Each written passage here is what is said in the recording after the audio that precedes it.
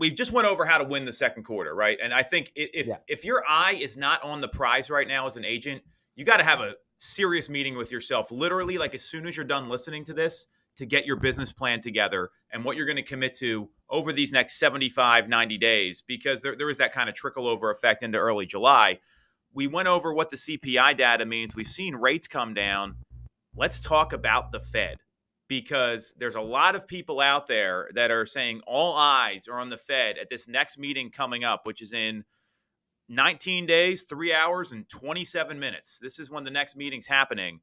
And it doesn't sound like the Fed is going to blink here. The CME Group Market Watch tool has pegged an 85.2% chance that the Fed will be raising rates another 25 basis points a lot of experts are calling for them to pause and stop the rate hikes.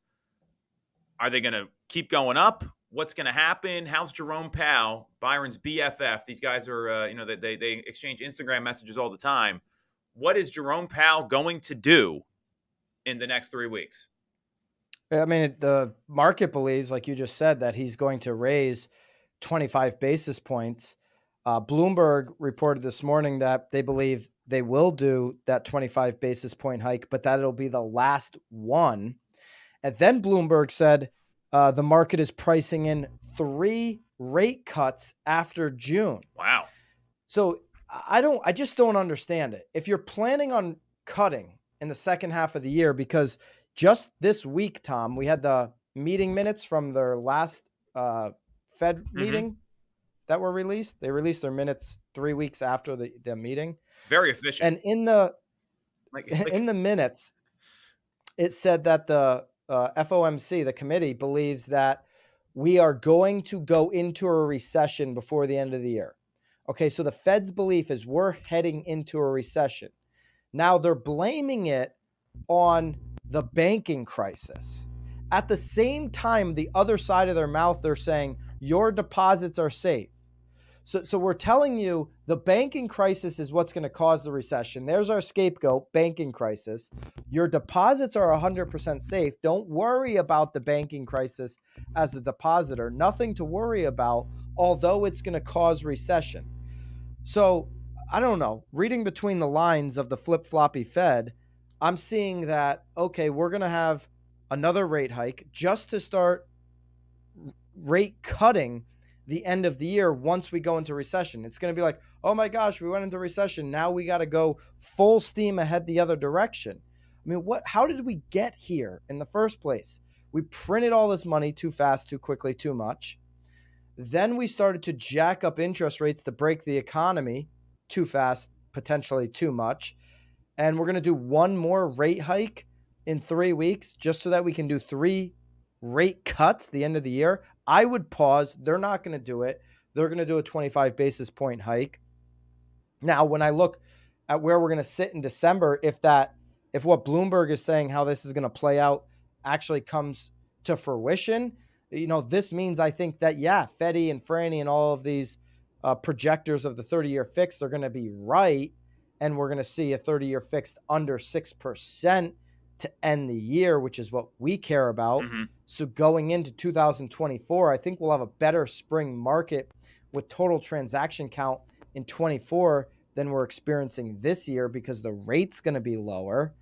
Um, but how much pain, how much job loss are we going to have to navigate to get there between this spring and next spring?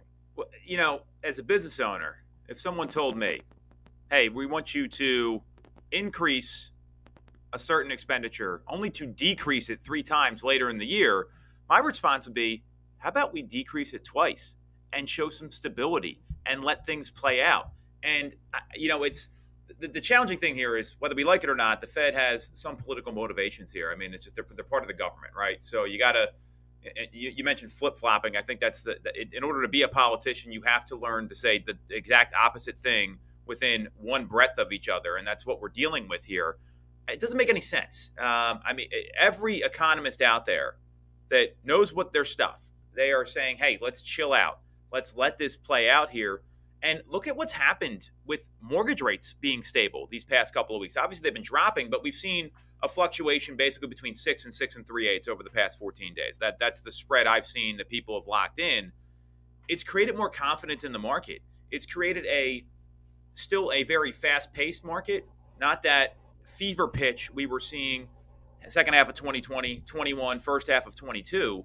And that's what consumers want. That they're okay with a fast-paced market, not a bananas market, not an incredible, incredibly crazy market. So I, I don't from from just a business owner standpoint, why raise once to cut three times? Just cut it twice. Let it play out. Let everyone kind of chill out a little bit here. And imagine the reaction from consumers right now if the Fed came out and said, "Hey, things are going in the right direction." The uh, president of the Fed in Chicago just said the same thing uh, today. He came out and said that um, he feels that things are going in the right direction um, and that it looks like the measures are working.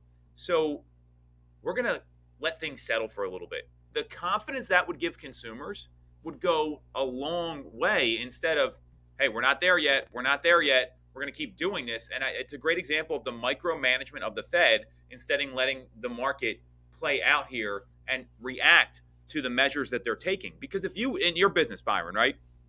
Let's say you had a bad month, right? But it was maybe looking better than last month. And you started to say, hey, we're going to keep doing it again. Like, we're going to keep making changes and adjusting that wouldn't play well with the people in your business and your clientele. And that's exactly what the Fed's doing.